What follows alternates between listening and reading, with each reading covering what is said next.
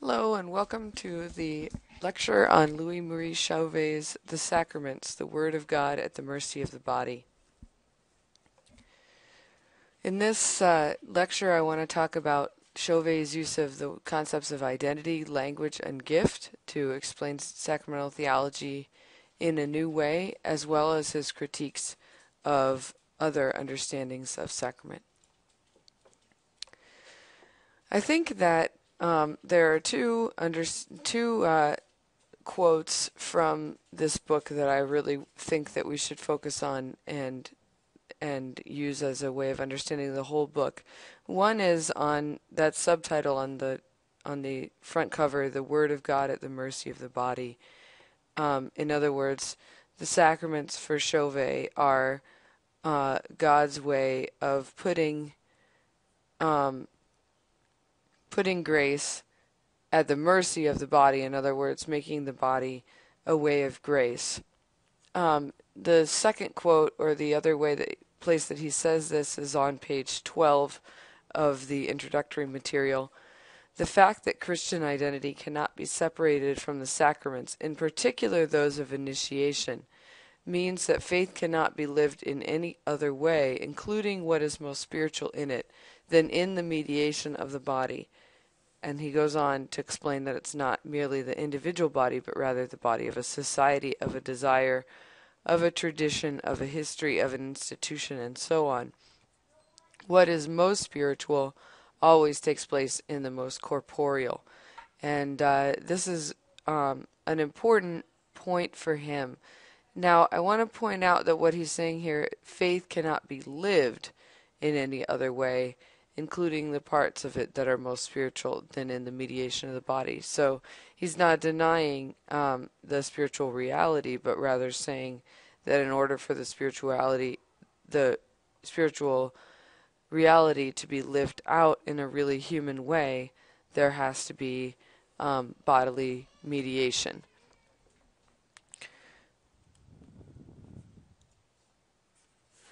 So, First, I want to give you a little bit of context. So these are, um, uh, this slide is going to deal with the concerns of postmodernism in general.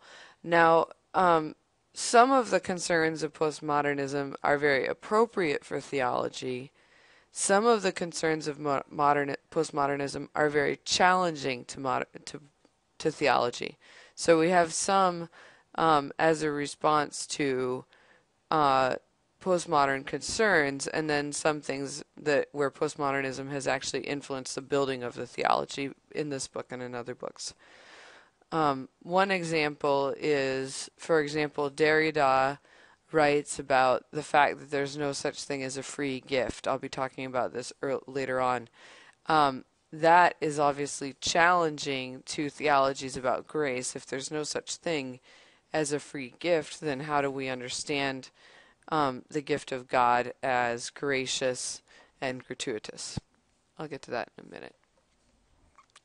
So, postmodern concerns. First of all, postmodernism is very much concerned with epistemology. In other words, how do we come to know what we know? Um, one of the things that postmodernism recognizes, and this is number three here, is the that the subject himself or herself plays a huge part in determining what he or she can know. So what I know already, for example, um, ha- for example, if I'm looking at um, the front side of a building and I don't know what a building is, I won't know what the back side of the building looks like. So this um, this is a, a huge part of postmodernism. This understanding that we uh, we determine what we know already. By what we already know we determine what we can know in the future. So this affects and shapes our ability to know about god and also to know god because if we have predetermined in advance what god is allowed to be um, then we won't be able to see anything that contradicts those assumptions as God. So this is a concern that postmodern theology is very close to. Another thing that's important about postmodernism, and one of the things that it often seems threatening to people of faith, is that postmodernism contains a profound doubt about the trustworthiness of meta narratives. What this means, a meta narrative is like a big narrative that incorporates and explains all the events on a global level. So, for example, the salvation history um, is a meta narrative because it incorporates and explains um, all the events, both in the Hebrew Bible and in today for those who believe in it. So, this is what a meta narrative does. Within postmodernism, as a response to the awareness that I have, of course, my meta narrative, but then I've been I have that meta narrative, and that's what I already know, and it shapes what I'm, in fact, able to come to know. But somebody else may have a different meta narrative that seems equally true to them. Because of this fact, postmodernism has doubt about the trustworthiness of meta narratives. In other words, that doesn't mean you don't have a meta narrative, but it might mean that you can't be quite as sure that your meta narrative is real. Some of the responses to this um, this doubt include playfulness. Sometimes it's called irony, um, and sometimes it is ironic. But I think there are other ways that the playfulness um, manifests itself, and angst um, with response to meta narratives. And I actually have a, I'll admit, kind of whimsical example here. This is a another webcomic that I like to read. Oh, didn't work. Hang on. So here's the comic. Um, as you can see, there's these frames up here from the stories. I expected the world to be sad, and it was. And I expected it to be wonderful. It was. I just didn't expect it to be so big. In a sense, this is the uh, the the example I want to give here is here's the comic. A comic is you know a particular way of framing um, something, but this particular comic, when it first appeared, as your mouse hovered over it, would say click and drag. That was the name of the comic. Um, and when you did that, you discovered that it broke your frame of what a comic was supposed to be.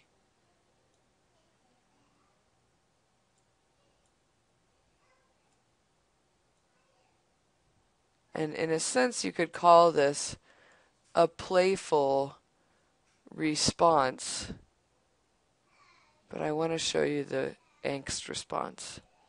It really is very big.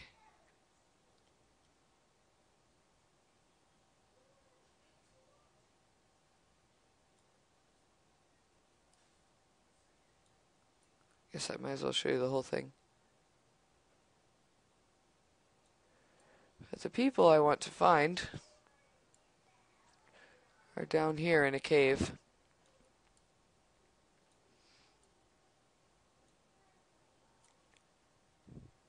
If anyone up th- is anyone up there, if you can hear us, friend us on Facebook, follow us on Twitter, please.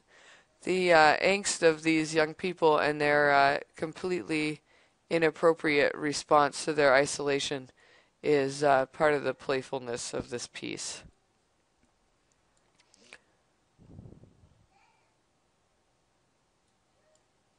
But back to the slideshow. Um, so there, uh, the this is also an example of this doubt about meta narratives, because everybody in this comic has their own micro narrative. There is no overarching narrative unless you consider I didn't expect it to be so big to be a meta narrative, which you could maybe. All right. So Chauvet wants to respond to this um, set of concerns. Sorry, I made that text kind of goes off this page, but he sees there um, three models in the history of sacramental theology um, by which we understand how the sacraments help us know about God and construct our knowledge of God. So the first model that he deals with and the second model are ones that I think we know um, quite well. So I'm not going to spend a lot of time on them. And if you don't have it already, you might want to have your book with you because I'm going to go through and explain um, several of the um, of the diagrams that appear in this book, and so it might be helpful to be able to look at them on, within the context of the text. All right, so the three models. First, he sees as the objectivist, um, which is the model of Thomas Aquinas, he says, or also the model of Neo-Thomism. Um, I think probably really more of Neo-Thomism than Thomas Aquinas. In his first book, um, Symbol and Sacrament, which was also published at the Lit Press and is a, a larger book, um, he actually was quite a bit more critical of Thomas Aquinas and then the res- in the response to that book, a lot of good Thomists said, um, "Look, what you're taking issue with is not actually Thomas Aquinas, but Neo-Thomism." And so, in this book, we can see a correction where he's uh, more careful about what he says about Thomas's own work. So, but he does say that in this first set of in this first model or this set of models, the sacraments are regarded less as revelatory signs than as operative means of salvation, which is something we've talked about before. In other words, they act um, objectively on the recipient um, whose disposition is scarcely important, and the grace that they bestow is more appropriately seen as a cause than as something that shapes their um, their mindset or way of life. All right. Two, the subjectivist set of models. Again, this is something I think um, that we're well familiar with. In fact, this is probably the specter that's raised for most of us when we think about postmodernism and a postmodern approach to the sacraments. Um, this uh, Chauvet calls our attention to Karl Barth and others. It's not actually the objective content of faith, but one's sincerity and good intentions that matter in the sacrament. This would be, uh, in a sense, the assumption that it's actually, you know, the sacraments are our way of reminding ourselves that God is very important and that we need to do these things. Um, Chauvet thinks this is equally dangerous, but also it's in a sense right. So we'll talk about why it's right in a moment, um, as the first one is also right. So then he says that these two are imbalanced, and he wants to um, portray in that there's oh I should say there's a uh, diagram on page 16 um, of the front matter that shows a diagram where the sacraments are the means between God and humankind, and in the objective pattern, the direction that God bestows grace on humankind through the sacraments is emphasized, and the one that humankind responds to God through the sacraments is de emphasized. And then if you look at page 19 of the front matter, you will see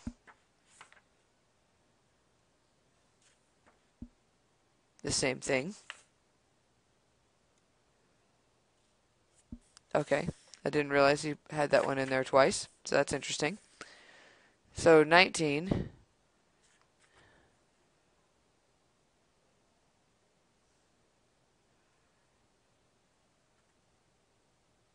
Oh, I'm sorry. So the one on 19 um, shows how God gives grace to humankind, and human beings then express their reception, reception of that grace through sacrament, by which they sanctify their own um, daily existence.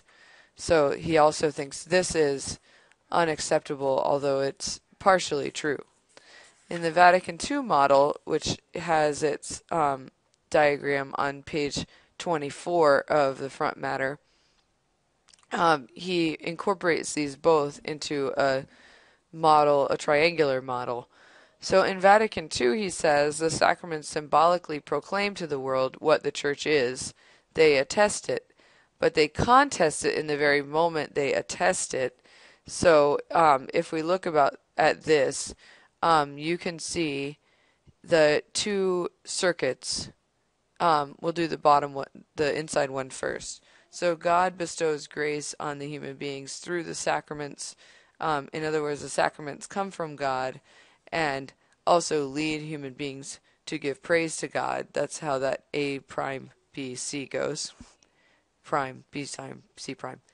Then in A B C in the newer model, God is also always giving hu- human beings sacra- grace outside the sacraments, the experience of love, His love outside the sacraments, and out then human beings express that love in the sacraments, and by that love return praise and glory to God. That would be the external um, part of the diagram. What this means to Chauvet is that the sacraments proclaim to the world what the church is. In other words, what the church already is um, is made visible in the sacraments.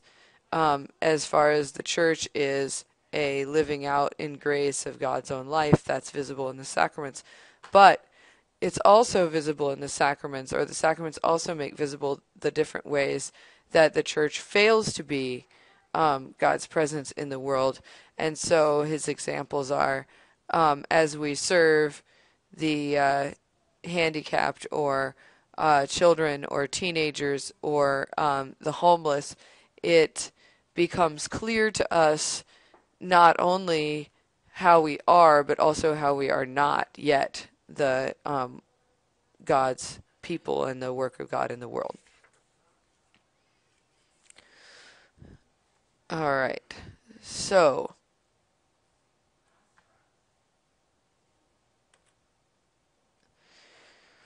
so then Chauvet wants to give us a uh, a response. His his concern is that even though um, in this by in the Vatican II model we have sign and cause closely integrated with one another, so that it makes sense um, that a sign in the sacramental sense would be also a cause or a change of the world. His critique of this is that they're heterogeneous. They are not. They don't function the same way. Um, a sign is something persuasive, um, and it's also something that only works for human beings. A cause is coercive and it's something that um, also works outside the human domain. And so he's concerned about this. Um, so he says that's a mistake it, because, and this is on page three, language is not an instrument but a mediation. So this is our first of our three major concepts that I'm going to explain in order to help you understand Chauvet. So language is not an instrument in other words, it's not a tool by which I make sense of my world, but a mediation. In other words, the way my I actually come to know my world, and it actually um, uh, determines how I can what I can know in my world. So let's look at his two diagrams that deal with language. The first one is on page three, and in this first diagram, the subject sees the real, senses the real um, through his or her language, and that knowledge of the real comes back to the subject in uh, arrow 2 here. And now that the subject knows about the real, then the subject expresses what he or she knows about the real in language. Um, this might be, or actually might not be, but Chauvet assumes it is, our um, our kind of a priori um, un unexamined assumption of how language works. Um, the problem with this assumption of la- how language works is simply that it's not empirically true that this is how language works. So if we, you know, look at contemporary anthropology, for example, um, we know that our senses and our sensory reality is in fact determined by the language we know. So, to use a simple example um, without going too far afield, um, people's ability to recognize different colors is determined by the names for colors that their culture uses. So, if my culture has um, three words for color, which is quite quite um, common in certain societies, then I can recognize three colors. In our particular culture, um, we have um, hundreds of different colors, and most of us can recognize a few dozen colors.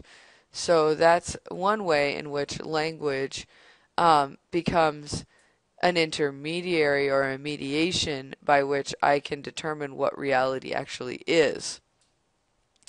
Um, there are other things. Um, so, for example, it's also known that uh, we recognize um, the things that we are seeing as we see them. We don't actually register the sensory input and then later um, analyze what is on the in the image that we've resolved, but rather we actually kind of go out in order to resolve. Our eyes follow the edges of the things that we're determining as things, um, and uh, and in that way also our preconception of what's there and our knowledge about what might be there to see determines what we can see. So in this second diagram, which is on page eight, Chauvet um, kind of creates a visual reminder of this understanding of language that language um, stands between my language stands between me and reality in a sense and determines what I can know about reality. So, um, if that's true, then our language about God also stands in between um, who I am and what I can know about God. And I think at this point in the class that really shouldn't be surprising or or um, at least not newly troubling, although it might still be troubling, um, and quite rightly. So for uh, Chauvet, that means that the church, as a cultural and institutional reality, or a cultural and institutional um, layer of reality, stands between me and what I can know of God and grace and sacrament. So, um, and he thinks this is a good thing. So on page 13, he says the cult the sensible cultural institutional mediations which and he's been telling us we normally are suspect of and we wish they weren't there. We don't want to have mediations in between us and God. Um, but on the contrary, we should no longer see them, he says, as obstacles which ideally should be surmounted in order for subjects to walk toward truth.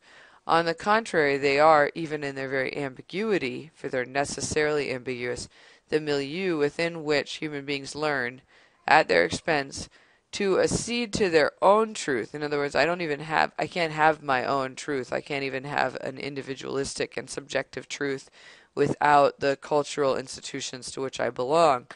And by the same token, except to hear the call of truth, this is God's truth here, which is greater than themselves.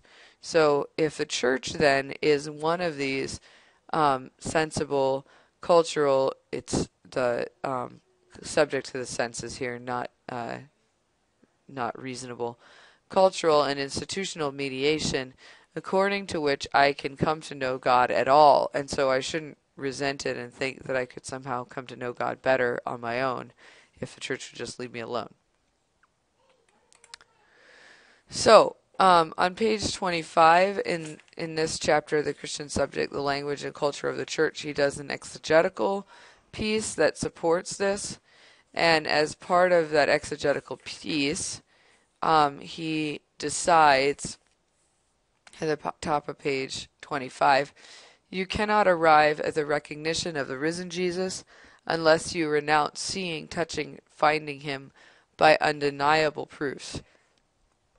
Faith begins precisely with such a renunciation of the immediacy of the see no, and with the assent to the mediation of the church. In other words, um, the knowledge of Christ that comes through the church's liturgy, um, the church's tradition, whoops, the church's scripture is inevitable.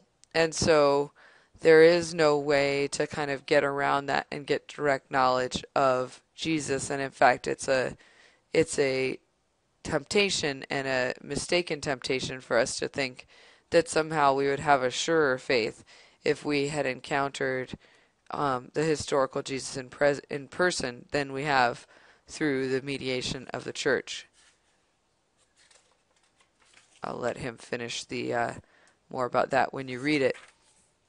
But so he gets to this um, this structure of Christian identity on page 28. So, and first of all, um, in the larger book where he had more space, um, some of this is clearer. So I'm going to go ahead and explain how we should read this diagram.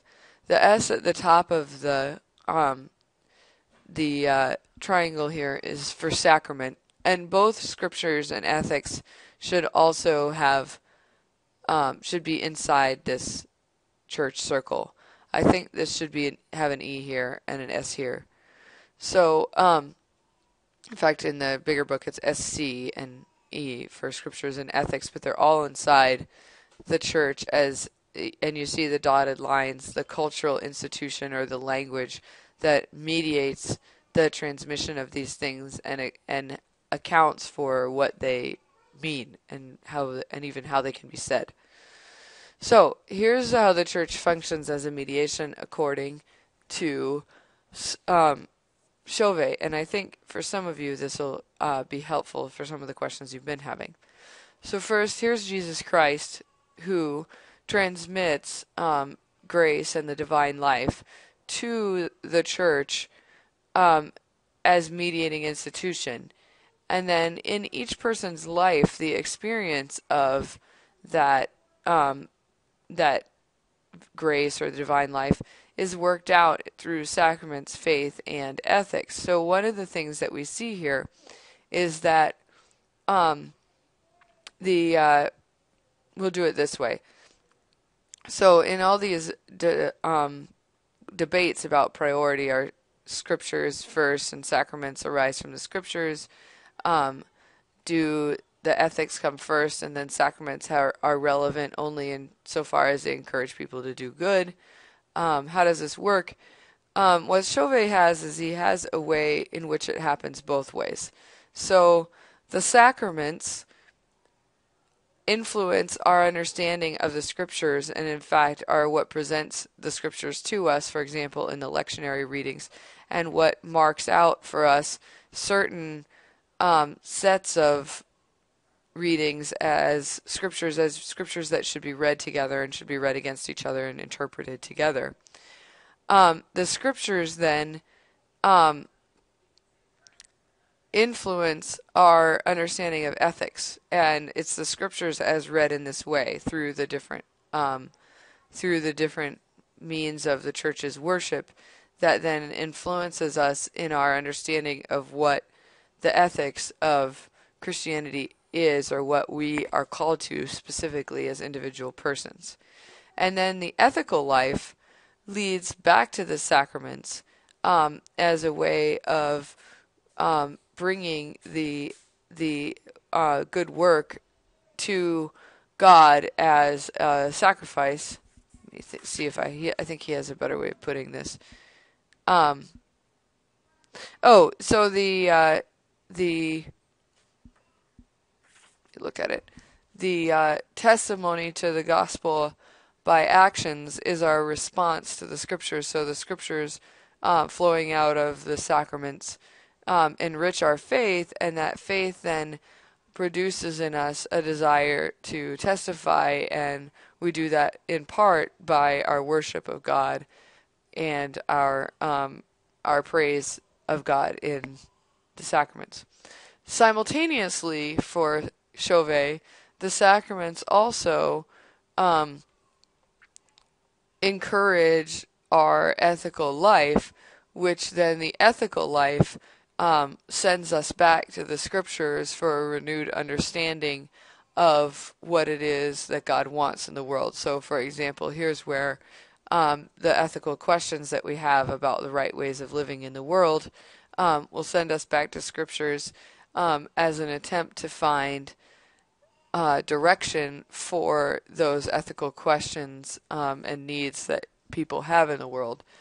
And then from there, the scriptures will bring us back to the religious um, or the the sacramental or liturgical life of the church um, with a renewed desire to bring praise to God. So he sees these as three different poles of what the church does, and then he gives us examples of how if one or the other pole is overemphasized. So he says, for example, that um, traditional Catholicism has overemphasized sacrament at the expense of um, at the expense of scriptures and ethics, but there are also ecclesial groups that emphasize scriptures too much at the expense of sacrament and ethics, or that emphasize ethics too much at the expense of sacrament and scriptures. So I'll uh, I'll let you to read that, but his his idea that the church is a mediation is really a complex one. It shouldn't be oversimplified to the institutional church as a mediation, which is a a uh, misunderstanding that I sometimes see of Chauvet. All right. So then Chauvet says that this, the uh, in other words, the goodness of cultural and symbolic mediations is why we need to move from sign to symbol um, in our understanding of sacraments. And this is we're getting into the um, chapter. I think it's that was chapter two and three that are I summarized on the last slide. We're now getting into the second part of the book, which begins with chapter 4. Um, so, first of all, a sign for Chauvet is something that communicates information. The sign belongs, he says, to the order of knowledge or information or else value. Um, so, in other words, uh, a sign, a stop sign, just tells me to stop. It doesn't give me any other information. It does, or it, I mean, it's it's a communicator of necessary information. Um, it doesn't uh, affect my identity, he says. Whereas the symbol belongs to the order of recognition or communication between subjects as subjects and is outside the order of value. So he talks about that.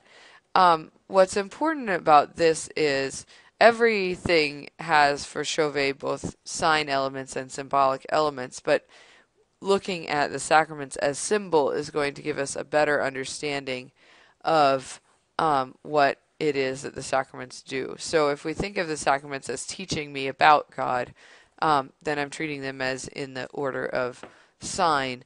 Whereas if I think of them as um, conversation between God and me, I will treat them more as symbol. So he goes on uh, to talk about how a symbolic speech act, so language act, I could be just communicating information to you. Um, but if I do a symbolic speech act, then I actually change my relationship to my world. So, one liturgical example, which he doesn't use here, is to say, I believe in one God, Father the Almighty, and so on. Um, by making this speech act, I'm not merely conveying information about my internal state. In fact, um, in Christian tradition, even if you have doubts about your belief in God, you're still to say the creed because the creed is a change of my relationship with um, the confessional world or a reaffirmation, you might say, of my relationship with the confessional world. So I'm committing to believe this, even if at this moment my internal state does not precisely um, does not precisely reflect that belief. All right.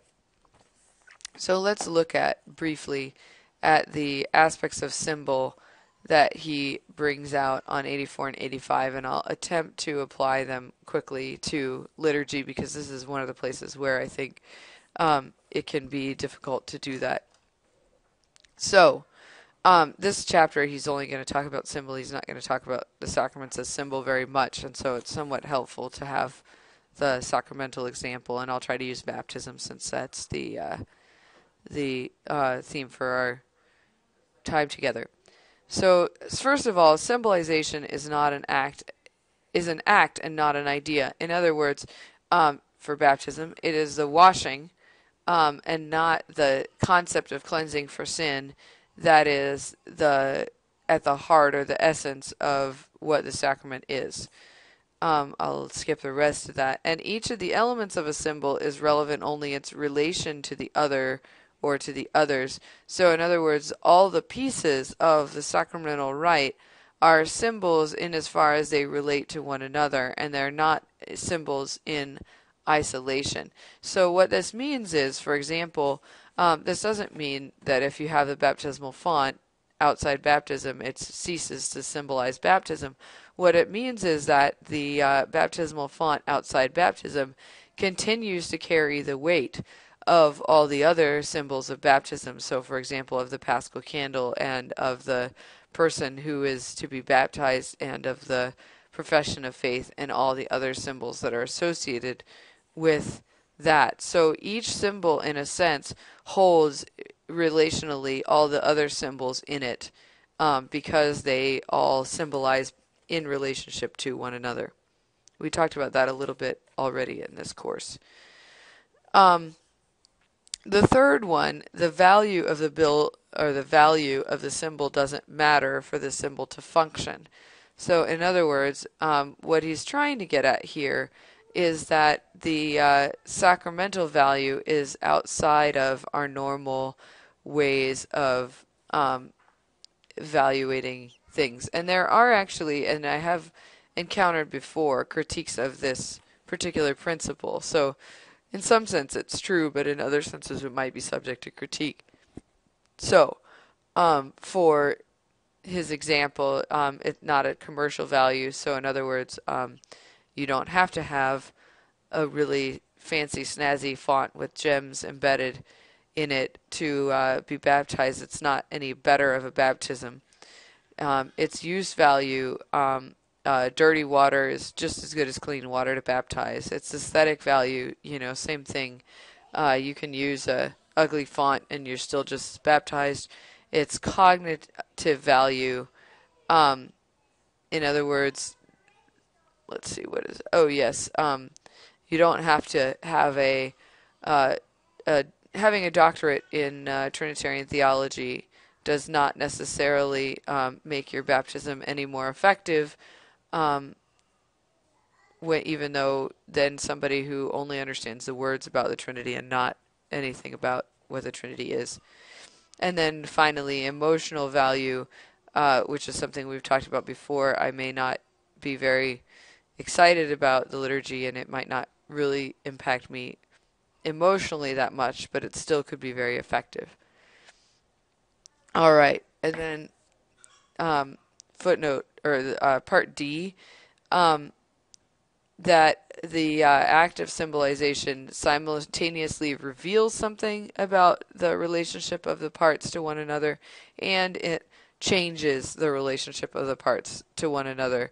So, for example, when we baptize, we're both revealing something about um, this new baptizand um, and her relationship to Christ or his relationship to Christ, and we're changing that relationship. So, that is what he has to say about symbol. You can see that this is a pretty strong departure um, from uh, just a traditional causal understanding of the sacraments um, and it gives Chauvet a lot of places to think about language and how we use language to change our world. So here's um, on page 91 his summary of this section on symbol. He says, Not only is language efficacious, but it is what is most efficacious. Now, what he means here is obviously not it lifts more weight than a lever, um, what he says he means is a symbolic efficacy, which for him doesn't mean a not real efficacy, as you should be able to guess by now. He says, such an efficacy does not designate, as in science or technology, a transformation of the world, but a transformation of subjects, a work that is produced in them and allows them to accede to another way of being. Um, you, you can put this much more simply, and I think Mark Searle puts it more simply um, that the work of the sacraments is not um, a change of condition of the subjects, but a conversion of the subjects. Conversion is something that changes our way of being. All right, so gift and return gift. There is a diagram that goes with this concept on page an excellent question. Page 121. It gives us a sense of um, gift and return gift. So in this section, Chauvet actually moves from the understanding of the sacraments as things to the understanding of the sacraments as a gift exchange, um, a ritual in which gifts are exchanged between two persons. Um, so this goes with his understanding of language in that for him, um, language is a gift and a return gift. I give a, I give myself or I expose myself to someone else by communicating, and he or she um, responds, and their that response um, determines and alters our relationship with one another. So this understanding of mutual conversation is important to how Chauvet explains the sacraments. So he treats gift exchange, a gift exchange um, in the anthropological sense that he uses it in this chapter, um, is not exactly like a you know a uh, white elephant sale. Um, although you could use a white elephant sale and analyze it with Chauvet's work and see where you got.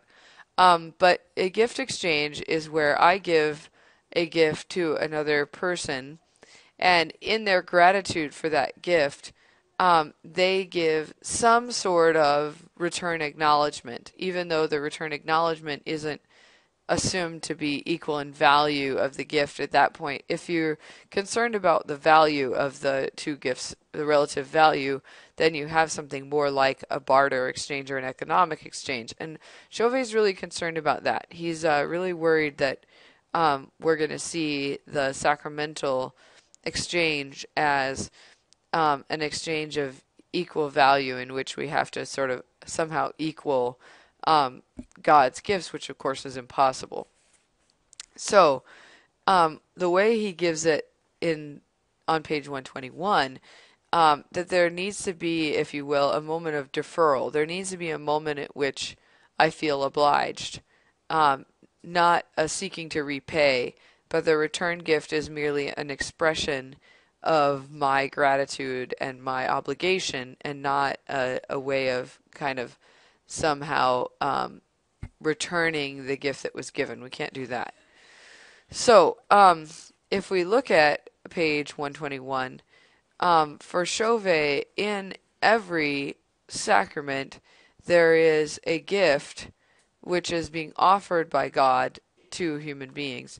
And then there is a moment of reception but the moment of reception is always um, motivating us to give a return gift, which may not, in fact, it's not for Chauvet normally a gift back to God. It's not even the praise and worship that uh, Schillebeeckx uses. Instead, the return gift is the life of love that I live with other human persons and my offering of myself to them that's my return gift to God uh, in gratitude for the gift that's been offered to me. So, what this means um, for Chauvet is that there is this moment in the sacraments that he calls possession by dispossession. Um, and this relates to another concept in Chauvet's book, the presence in the absence or presence in an absence. Um, it also relates to the idea that the most spiritual is present in the most corporeal, um, but um, we'll talk about that probably more in class. So um, for Chauvet, um, just to talk about this possession by dispossession, if I suppose I'm walking down a street and I see a, uh, I see, let's see, what is it I see? I see a chocolate cake by the side of the road and I snatch it and run home.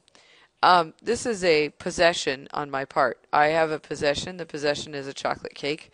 I took it and I have it. Um, but for Chauvet, that's uh, not um, the way a gift can be possessed. I can't possess anything that was a gift that way, or it ceases to be a gift. So if somebody gives me a gift and I snatch it and run home, um, I have failed to receive the gift. Instead, I have stolen or I have uh, I have seized, I have taken possession of.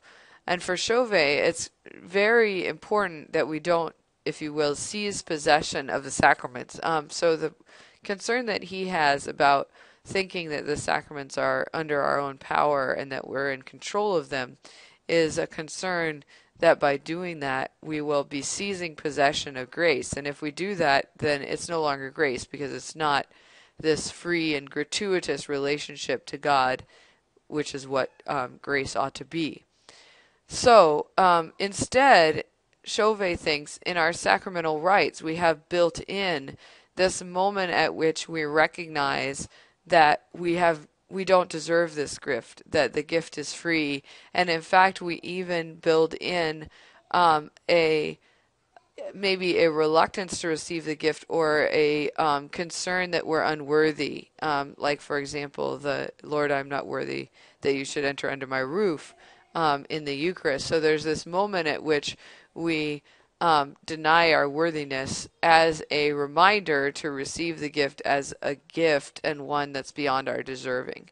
Um, so it, this is what he means when he says that our rites um, take possession only by dispossession, and therefore we um, we recognize um, the absence as, of grace as a way of then recognizing or allowing grace to be present as grace, as freely given as gift. All right, so this brings us to uh, the Paschal Mystery, which is um, really almost the last thing I'm going to talk about in this lecture. Um, so if you um, we'll talk in class about the his analysis of the um, Eucharistic prayer two in chapter 7.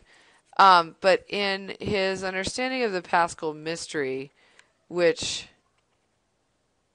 is diagrammed on page 160, um, what he's interested in here is historically the incarnation has been at the center of sacramental theology, which we've talked about before, that the um, church is the prolongation of the earthly visibility of Christ, that the sacraments are the prolongation of the earthly encounters with the earthly Christ.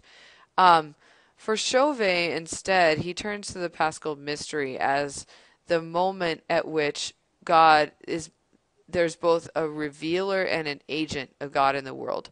So for Chauvet, the Paschal mystery, in other words, Christ's suffering and death and resurrection, is the moment at which God reveals all of our expectations, all of our um, pre existing language about God to be inadequate by, in a sense, subverting all our expectations of what it means to be God. And this is something we've talked about a little bit in class already, so I'm not going to spend a lot of time on the parable, but this is a, if you will, a parable, that concept of parable we just talked about should prepare you for this understanding of paschal mystery. So the paschal mystery reveals to us that God desires to be God, not in overflowing power um, or coercion or immortality or any of the other things that we might associate with God, but rather in suffering, um, powerlessness, and death. And that is, a, for Chauvet, not only a revelation of God's nature and the fact that God's nature is not at all what we would have expected, but it's also an agent. It changes the relationship of humanity and God, and it changes the meaning of death, and and in fact, it changes death itself um, in that moment where uh, Jesus dies on the cross. So I'll I'll let you um, read that part, but then so for for Chauvet, it's most important that the sacramental gift exchange um, reveals to us this God who is so in love that rather than be immortal and all powerful, God chooses to be mortal and helpless at our mercy. So this is where um, we get that again that subtitle, the Word of God at the mercy of the body. So I hope these this brief um, set of slides will help. I do also want to point out a correction of the text at the top of page 132. There is a um, diagram that it just the printer just made a mistake and it's right in the other book.